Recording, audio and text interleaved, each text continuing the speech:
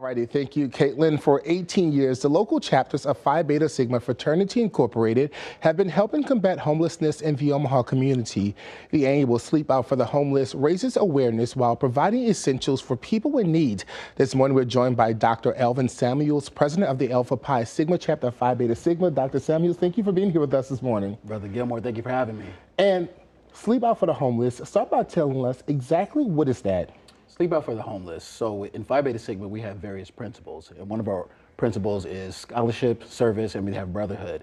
In service, we talk about doing things for our community. For Sleep Out for the Homeless, we get donations, non-perishable foods, monetary donations, and essential items for individuals in the community to combat the needs of the community, specifically the homeless. Now you think about sleep out for the homeless, that, that, that phrase there, do people actually sleep out what we're talking about? So in many years past, we would sleep out overnight, 5 a.m., 6 a.m., 7 a.m. As some of us have matured and now that we have work on, Friday, we will stay out very late. But this year, individuals will probably be out to 2 a.m., 3 a.m. And you'll be collecting things like winter clothes, essential items. Talk about what you are collecting. So specifically winter clothing, uh, that's the greatest need. Uh, this year we're actually partnering with an organization that specifically did ask for diapers uh, this year. Uh, essential goods such as deodorant, I'd be remiss if I didn't say toothpaste, toothbrush, and floss. And a lot of the things individuals will need on a daily basis, we're really looking.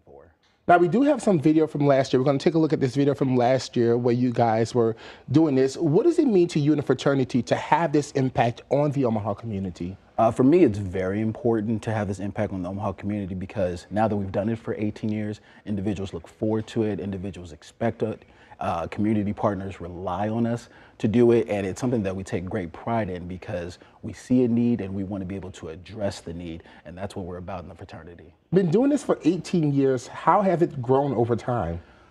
We need bigger trucks every year. bigger trucks, uh, spreading the awareness, and uh, just trying to improve upon previous year's numbers. Nice. And I know in the past you've done some work with the Siena Francis House, also the Open Door Mission. Yes, correct. So in the past we've done Siena Francis House, we've done Open Door Mission. This year we're working with North Omaha Community Partnership through networking and various connections throughout the community. We heard about some of the great work they're doing. They're a local community organization founded in 2020. They're big on rebuilding the community, empowering the individuals that are in it, and uplifting uh, individuals that have a partnership with the organization. Now I have to ask you because it's cool right now. Are you prepared to be out there all night with this weather? Absolutely.